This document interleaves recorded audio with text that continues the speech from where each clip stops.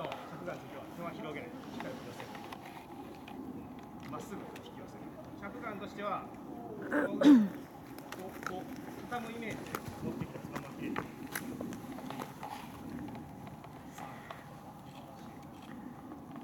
この時で大体あの陥りがちなのがこの銃持ってくる時にシャーってかわすのがよく見られるけどこれについてもあのこのまままっすぐ肩に置いてやったら絶対頭に当たらない少し取らせてるで、まあ、コツとしてはこう若干手と手首とこっちの手で誘導してやるこれだけで乗り出す乗りっていうかあのこ手首だけで見るとどうしても形が崩れる左手も使ってしっかり位置を誘導してやるこの際のえー角度についてはおおむね90度。